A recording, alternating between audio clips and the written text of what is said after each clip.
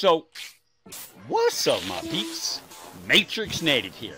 And in today's video, well, before we get on with today's video, first, let's go over some comments. Second, let me tell you, I have decided to reopen the polls on Twitter for viewers' choice history and builds. So make sure that if you're not following me on Twitter, you go ahead, hit that link below in the comments, and follow me on Twitter and get your vote in.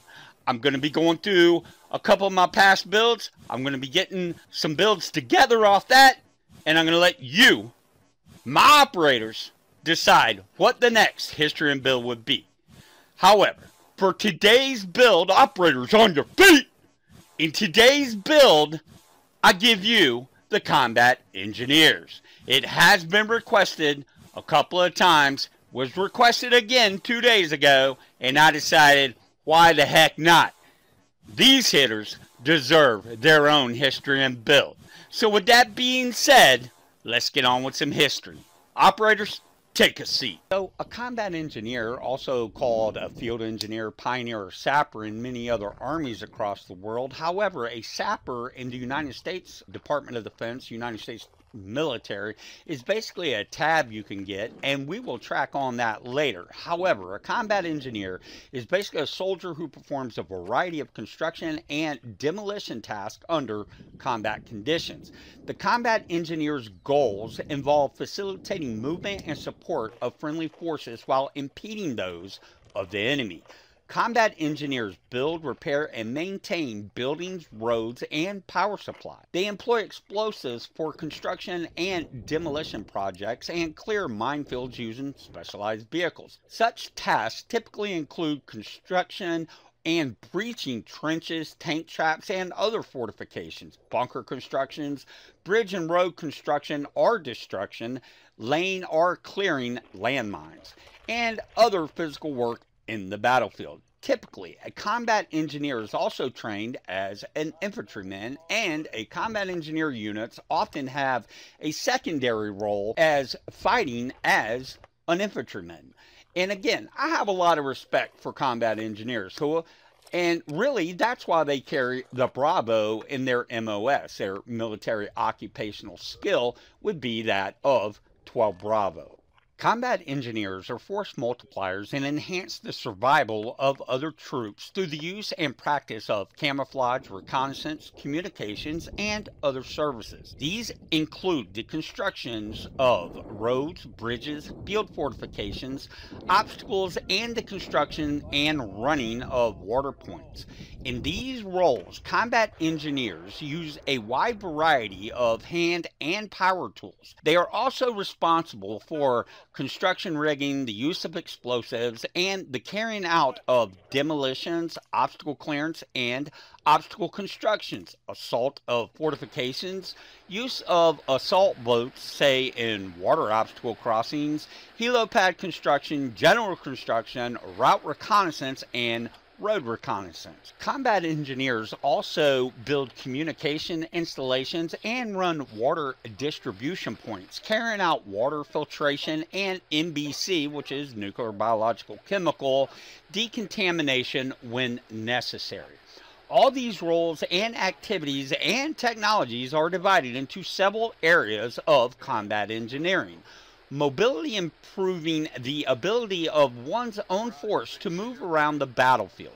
Combat engineers typically support this role through reduction of enemy obstacles, which include point and row minefields, anti-tank ditches, wire obstacles, concrete and metal anti-vehicle barriers, as well as India Echo Deltas. And we all know what that means. Don't want to say it or this bid you could get struck. Mechanized combat engineer units also have armored vehicles capable of laying short bridges for limited gap crossings, clearing terrain obstacles, overcoming trenches and ditches, opening routes for armored fighting vehicles, construction, roads, and bridges are just a few of many, many, many responsibilities of a combat engineer. And let's not forget they can also mix it up and get some themselves carrying that Bravo designator. Now, I'm not going to sit here and say that I'm an expert on 12 Bravo combat engineer because I'm just not. However, I did see them on the road to Baghdad. You know, we saw the combat engineers out in front. Of course, they have to lead the spear. However, you do have scouts and other, you know, forces out there trying to sneak a peek of actually what the enemies are doing as the combat infantry units are rolling up. Now, along with the shit ton of responsibilities that I've already stated that a combat engineer, basically a combat infantry engineer, has to overcome, one of the biggest uh, things that they will be involved with is obviously obstacle breaching. Huh? Now, for obstacle breaching, basically, the combat engineers use a variety of vehicles, explosive devices, and plastic explosives, including minefield breaching devices such as dozer blades, mine rollers, Bangalore torpedoes, anti personnel obstacle breaching system, the mine clearing the line charge, bomb disposal robots, explosives, mines, and bombs. I mean, these, you know, you don't got to wear a beret to be a hitter. Who? And I got to tell you, Combat Engineer Corps is, uh, you know, they're pretty high speed if you think about everything that they're responsible for. I mean, let's face it, you know, when the Republican Guard pulls out, you know, they it's not like they don't leave mines. It's not like they don't blow up bridges to cause, you know, holdups for the NATO forces or from you know any other forces that are on that ass who and the combat engineers basically got to go out and clear that and like I said, usually they're the tip of the spear leading brigades in to, you know, get a lick themselves. So as stated, during the war in Afghanistan and the 2003 to 2011 Iraqi war, the U.S. Army tasked its combat engineers with route clearance missions designed to counter rising threats of India Echo Deltas. To increase the effectiveness of these units, EOD and mechanic teams are typically embedded with the combat engineer platoon. Due to the rising India Echo Delta threats, U.S. Army sends some combat engineers with rank of specialist or higher, so basically E4 or higher, to complete explosive ordnance clearance agent training to familiarize themselves with the different types of unexploded ordnance. So as stated, we're going to track on exactly what a sapper tab is in the United States military and basically what it means in other than United States military. So, so basically a sapper in the US, British, Indian, Canadian, Australian, and New Zealand armies is a soldier who has specialized combat engineering training.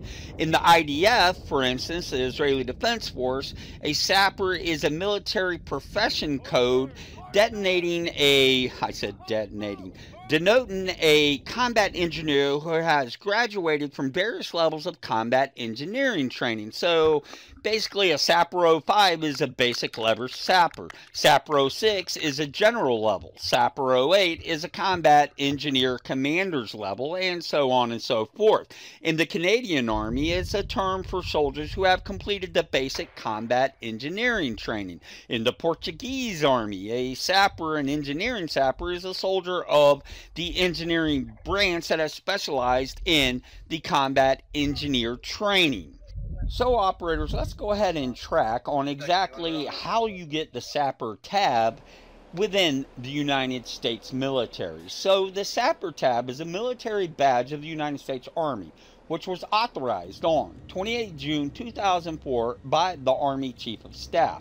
To be awarded the Sapper tab, a service member may or may not hold the Military Occupational Specialty Code, basically the MOS of 12 Bravo, designated as a combat engineer, but must have graduated from the Sapper Leader course, basically the SLC, down there at the U.S. Army Engineers School at Fort Leonard Wood, Missouri. The school basically falls under the 169th Engineer Battalion, 1st Engineer Brigade. The tab was approved retroactively to the graduates of the first SLC on June 14th, 1985. Again, the SLC being the Sapper Leadership Course. So The Sapper Leader Course is a 28-day course designated to train joint service leaders in a small unit tactic, leadership skills, and tactics required to perform as part of a combined arms team. The course is open to enlisted soldiers in the grades of E4, E4P, so basically a specialist or specialist P, which the P designator is nothing but promotable, so you're about to be promoted to E5 Buck Sergeant in the Army. Are E5 and above. Students can come from any combat or combat support branch of the service, but priority is given to engineers, cavalry, and infantry soldiers. So, who the fucking that? So, basically, Cav Scouts, infantry, and obviously engineers get the first crack at it. So the Sapper tab is one of the four permanent individual skill slash marksmanship tabs authorized for wear by the U.S. Army in order of precedence on the uniform. They are the President's 100 tab, the Special Forces tab, the Ranger tab, and the Sapper tab. Only three may be worn at one time, not including the tabs that are part of the shoulder sleeve insignia, such as airborne or mountain. So basically, if you're triple tab and you go get your sapper tab, or if you have four tabs, you're only authorized to wear three, which I didn't even know that. That's that's news to me, and that's who. But I don't got to worry about it because I don't have a sapper tab. Uh, tracking on. So in overview, combat engineers primarily supervise, serve, or assist as members of a team when they are tackling rough terrain in combat situations. They provide their expertise in areas such as mobility, counter mobility, survivability, and general engineering. Job duties, as stated, construct fighting positions, fixed floating bridges, obstacles, and defensive positions, place and detonate explosives, conduct operations that include route clearance of obstacles and rivers, prepare and install firing systems for demolitions and explosives, detect mines visually or with mine detectors. Basically, the job training for combat engineer requires 14 weeks of one station unit training, which includes basic combat training, and advanced individual training. Part of this time is spent in the classroom and part in the field with on the job instructions. Helpful skills if you want to go down range as a combat engineer. Helpful skills would include ability to use hand and power tools, perform strenuous physical activities over long periods of time. Obviously, an interest in engineering would be really special, and obviously, enjoy working outdoors. So with that being said, operators on your feet, let's get the fuck down range.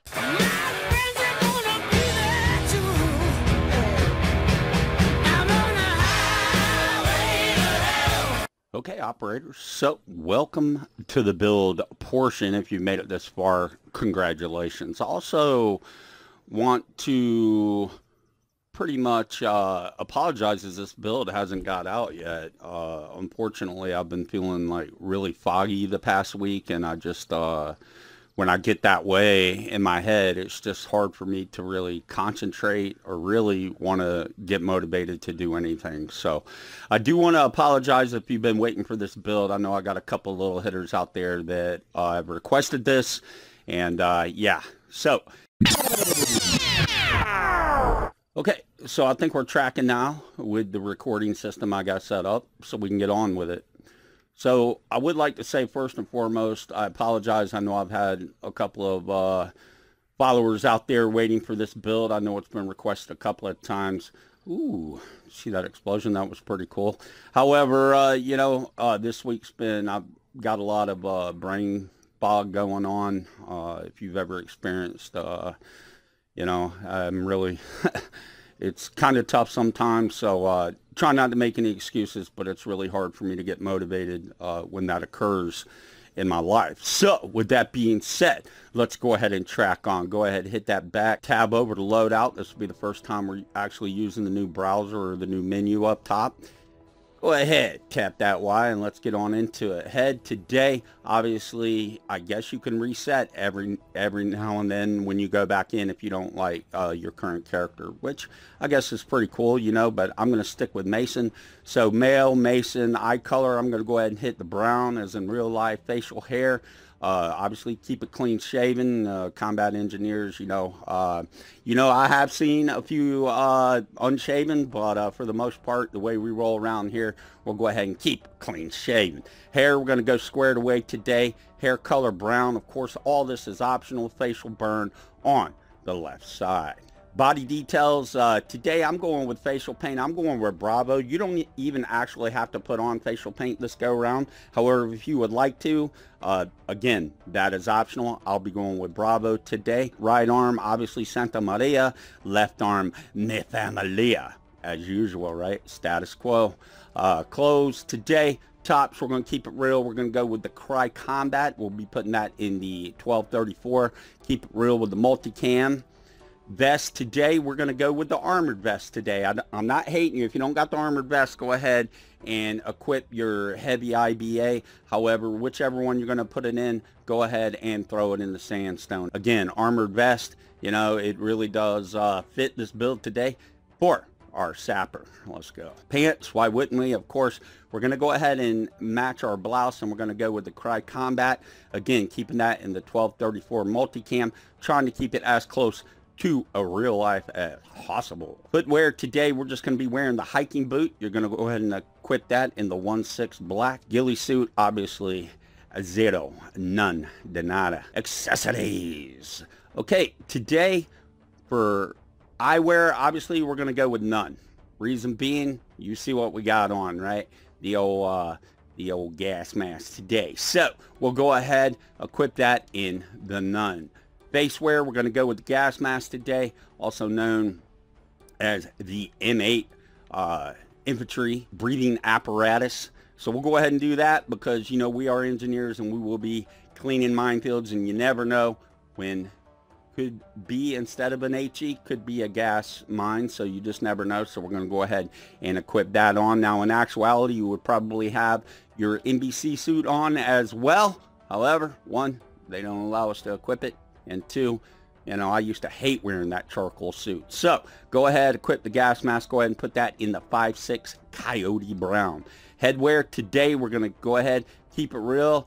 Go ahead, put on your special NVGs with that ACH, and uh, that'll keep you squared away. Again, they do wear the Kevlar. So we will go ahead, equip the ABG. If you don't have the NVG, just go ahead and equip the normal brain bucket. And you, whatever you put it in, make sure that your helmet cover is in the 1233 multicam. Headsets, obviously we're going with A. You're going to be putting those in the Coyote Brown. I'm picking the beefier headset because let's face it, sappers are sort of beefier dudes. So headset A, 36 Coyote Brown, handwear.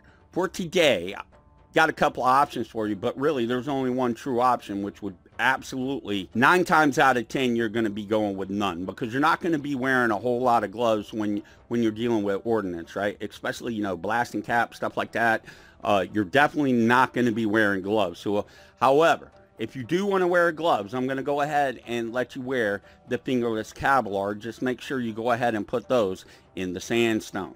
So fingerless Kevlar or none. Now, I know a lot of you guys out there want to be high speed, so you can go ahead and put the, the sniper gloves on. I wouldn't advise it with this build. However, I'll go ahead and let you do it since your thumb and your first digit is actually exposed and you'll be able to grab on to blasting caps and such like that. However, just be mindful that we try to keep it real here on our channel. So, again, fingerless Kevlar in the sandstone or you're going to go with absolutely none. Huh? And that's what I'm keeping it with today is the none. Backpacks today. Now, here's the deal. If you have the sapper open, if I can find it here. So if you have the sapper open, you're definitely going to be wanting to hook that up. Now, if you have it open, it says here you can't get it unless you get the deluxe edition. Look, I might have the points, I might have the cash, but I'm not trying to spend any more money on this game. But if you do have the sapper, that's definitely what to go with on this build. Make sure you put it in Coyote Brown, or actually you can put it in Sandstone. If you've been following me for a while, you know there's really no difference in your rucksack when it comes to the colors between sandstone and coyote brown. So if you have the sapper pack, you definitely want to go with the sap pack, right? However, for people, if you're like me, little uh, little hitters, then you already know that we're going with the 511 All Hazards Prime Pack if you don't have the Sapper Pack. If you have the Sapper Pack, again, as stated, you definitely want to go ahead and equip that.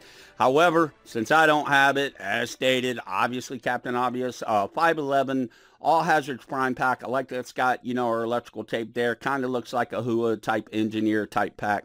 So again, go ahead, put that bad boy in the 933 Coyote Brown. Now, I was thinking uh, if you really wanted to, you could also go ahead and put that disruptor on. But whatever you put on, just make sure that you got it in the 933 Coyote Brown. I really do like this disruptor. However, that would be more, I think, for uh, comms, for an RTO type fit and not for the engineer. So with that being said, I will give you that option. However, go ahead, stick that bad boy in the 511 Hazard Prime pack with Nueve 33, Coyote Brown. Patches, obviously, come on, let's go. Let's roll, my peeps. And that's pretty much going to do it for the fit today with our sapper. Looking pretty huh? I must admit. Okay. I don't know if Top Dylan's in the stream. Uh, sorry, you know, I had some issues there before. But yes, this would be the Combat Engineer Sapper uh, build that we're doing today. Okay, so getting on with it today you're going to go ahead. This is the first time I believe that I've ever actually equipped this for our primary, and we're going to go ahead and hit the M4 A1 Tactical. Obviously, there's not a whole lot we can do with it. As you can see, it's got the digital scope on. I do like that. It's got the foregrip. It really fits the build today, as well as, you know, the little camouflage that, that they decided, you know, the camo that we should put it in. However, I do like this, the M4 A1 Tactical if uh, you know for this build I definitely like this. I like the camouflage to it. It really it really fits up with our multicam pretty well. Now I will tell you if you don't have this unlocked no worries. Just grab you an M4 go ahead and spec it up pretty much like this. So uh, you know you're gonna have your two times you're gonna have a foregrip uh, stay with the 30 round mag to keep it real and uh, that's basically it. But if you got the M4A1 tactical go ahead and bring it out. Again reminding you that you are able to uh, disable or enable the suppressor on this weapon. That is a choice. Other than that, you really can't do a whole lot to it. Again, you see the little dog tags right there. I think that's uh, I think that's kind of uh, kind of gay to be honest. But uh, you know, who am I? Who am I? Ubisoft knows all, right? And as you know, I never call Ubisoft out. they just make it so easy. So today, M4A1 Tactical, that's what we're going to be hitting with for this hitter today for our primary. Secondary, now, I know I'm going to get a lot of comments on this. However, secondary today, we're going to go ahead and go with the Mark 48, and this is why. A lot of engineers now, they they work in front of the lines, right? They're they're out there. You're out there with the Lurcher units and you know the Devil Dogs and and all those guys around snooping and pooping, trying to get a peek of what the enemy's up to as the engineers are advancing to clear the path for the brigade. Obviously, you're out there uh, meters and meters ahead of the main element. So you will definitely be carrying an LMG. You might not be carrying it on you. It might be in your engineer vehicle that you can run back and set up on. But nine times out of 10, you will have Overwatch within your within your stick, your squad, your platoon, however you want to call it, you will have Overwatch that will more than likely be set up with this bad boy here. So let's go ahead and dress this bad boy out, shall we? Okay, now obviously we're going with paints. We're just going to go with black because, again, we try to keep it real. If you ain't here to be real, then just get on down the road, huh? Now, stock, obviously, stock bug stock. Now, for the scope today, again, everybody knows that I'm just a little upset about not having an ACOG for our LMG. So today we're going to go ahead and put the EOTech on it and drive on. Make sure you got that in the gray. Trigger, hey, let's go. Full auto only. Magazine, we're going to go ahead and go with the extended box 200. Why would we not? Again, half the time, this is going to be in, you know, whatever engineer vehicle you're going to be in. Again, unless your your tank commander or your track commander or whatever you guys call it in the engineers advises you to get out and set up for Overwatch positions, right? So again, go ahead, throw that bad boy in the 200 and let's put that in the 1-2 black under barrel. Obviously, the foregrip Victor 4 just because, one, look how our accuracy runs down with any other underbarrel that we've got equipped. So the foregrip Victor 4, I've always stated, and I will always state, that it's one of the best attachments that you can get on this specific game. So with that foregrip Victor 4, we're going to put that in the 1-2 black rail. We're going to keep it clean as I... Uh, a lot of times I will do with my LMGs, especially the Mark 4.8. We're going to keep it clean and just go with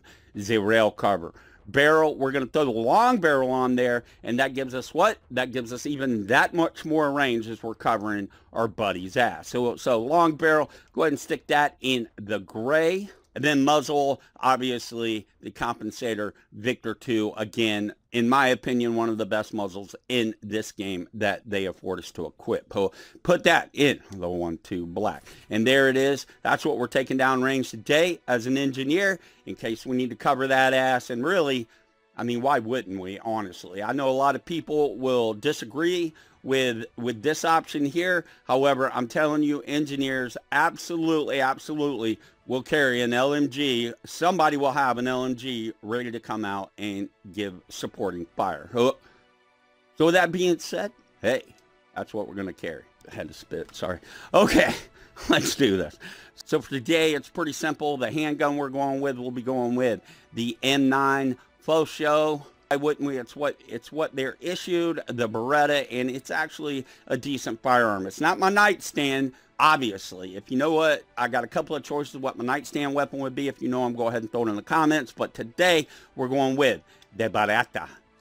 Now, parts, we're going to go ahead. Again, not looking like an R-Tard. We're going to keep it in the standard 15. Go ahead and throw that bad boy in black. Rail cover, keep it clean. Throw that in the gray. Barrel, again, you know, one choice will go with the standard barrel. Go ahead and throw that in gray. And then, of course, we're going with the stock muzzle. Obviously, we're going to have the suppressor. You're going to put your suppressor in black. However, stock muzzle, we're going to go with gray, and we're going to drive on with that the Beretta 9 millimeter standard issue of most United States Army military units. So, so today we're going to switch it up a little being engineers. Uh, I'm not going to, I'm personally not going to switch it up right now. However, you might want to go with the explosive or the EMP, seeing how this is a sapper build. So again, not hating your explosive EMP, or if you want, you can stay with your medic drone, but staying with the fit, you'll either be going with the EMP or the explosive, and you'll let another member of your team go ahead and equip said medic if you're the designated sapper for the team. Huh. Okay, now we switch it down here. You know me. You can only carry two of the three if we're on mission. Now, today, I know what you're thinking, Matrix. Why haven't you opened the mine or the C4? And to be honest, I have no excuse for that. I just really don't use them a lot in game. However, sticking with this build today, you will unash everything except your mine, C4, and frag grenade. So this time around, we won't be carrying flash, we won't be carrying diversion. Uh, basically, you can carry your flare gun because they only work half-ass, and then you'll go ahead and equip up with with with demolition. So so frag grenade, mine, and C4. That's what you're going to be rolling with today as today's sapper hitter build unfolds. So with that being said, that's today's build. I really hope you appreciate it again sorry about the history. I'm, I'm just, I can't explain it. If you guys ever had scrambled brains, you know what I'm saying. If you've ever crossed a path with one of them nasty India Echo Deltas, you know how your brain can get sometimes a little fuzzy, a little disorientated. However, today's build, again, dedicated to all my engineer class hitters out there aka Sappers. Hope you enjoyed today's build. Hope you have an amazing day today. I hope tomorrow's amazing. I hope yesterday is amazing. Do me a favor, tell all your friends about my channel. Go ahead, snipe like, snipe the roll. Hey, I said snipe the like, snipe the roll. Go ahead, snipe like. I'm all off right now, boys. Completely off today. Off it. Off the mark. Go ahead, snipe like, snipe the sub. Tell all your friends about my channel. And my peeps, Operator 41. I'll catch you next time. You guys stay here. Cuz that's how we roll.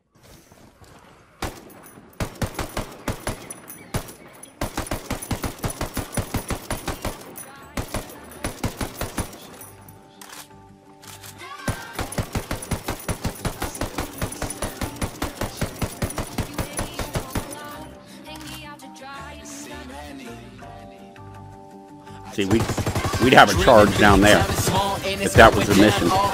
is a microphone, I'm headed for the ground, y'all. Call me whack, call me weak, say I'll never blow. Memphis Bleek, they know like the radio that Henderson was meant to speak. I'm on these tracks, just like Thomas, I'm the truth, just being honest. Y'all a bunch of Martin and Anthony's, yeah, that's prima donnas. Wayne Brady, they know the deal. Henderson just showing skill. Way that I just go at will, you can call me Uncle Phil. You working, but